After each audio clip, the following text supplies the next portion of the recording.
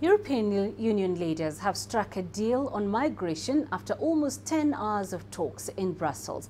It includes setting up centres to process asylum seekers arriving on European shores. Those eligible would then be sent to European countries willing to take them in.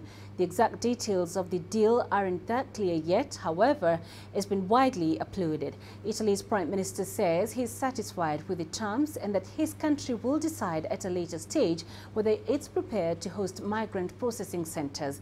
Italy had earlier blocked an agreement urging fellow EU leaders to meet his demands on sharing the migration burden. Other members of the bloc have welcomed the deal. Insgesamt glaube ich, nach intensiver Diskussion bei dem Thema. Overall, after an intensive discussion on the most challenging theme for the European Union, that is to say migration, it is a good sign that we could agree on a common text.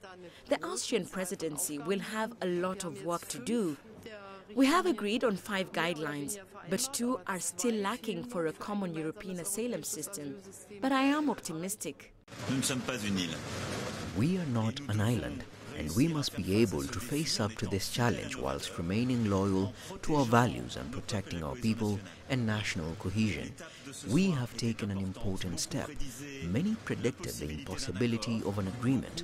Many predicted the triumph of national solutions, but we have succeeded in finding a European solution and a way of working in cooperation. Let's get you the latest on that now. I'm joined from Brussels by correspondent Mariam Zaidi. Mariam, can you give us more details on that EU migration deal?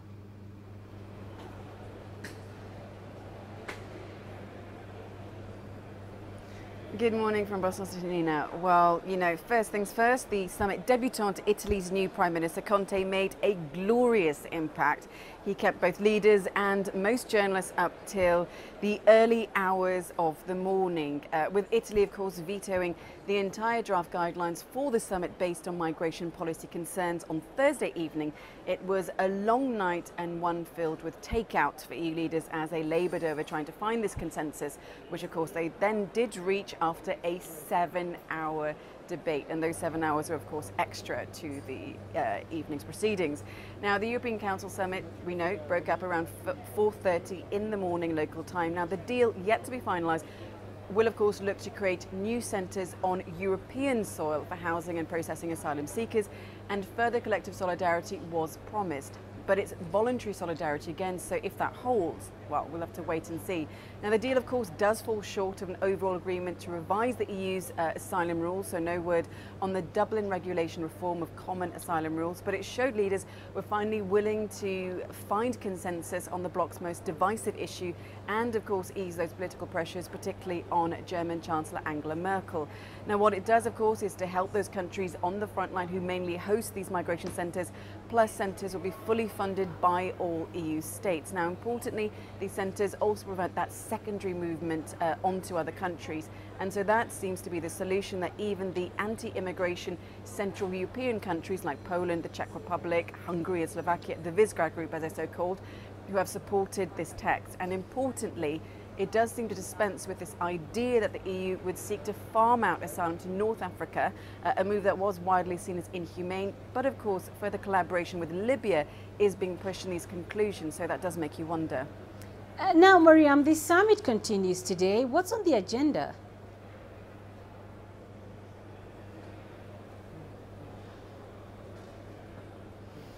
Well, on Brexit, uh, what we already know uh, is that leaders over breakfast have adopted their Brexit conclusions. Now, it's quite astonishing that it only took them a few minutes compared to the extra sort of seven hours they spent on this migration consensus. Perhaps they were just a little bit tired. Now, the conclusion uh, of those talks calls, well, it basically states that they have substantial uh, concern over the substantial lack of progress on the Irish border. Now, Michel Barnier, as he arrived today, uh, he is, of course, uh, the EU's uh, lead Brexit negotiator, and he said that he hopes that this UK white paper that Theresa May, the UK Prime Minister, promised uh, yesterday uh, in about a week's time will contain workable and realistic proposals.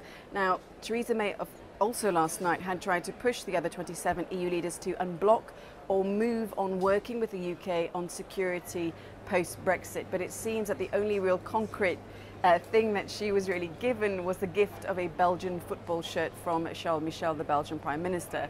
Um, and of course, yesterday you saw that divergence of perception of Brexit. Theresa May saying that progress was good.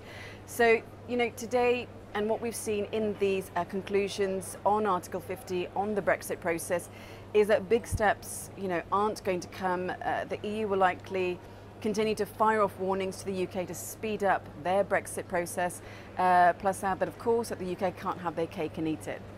All right, Mariam, thanks very much for joining us. Mariam Zaidi in Brussels.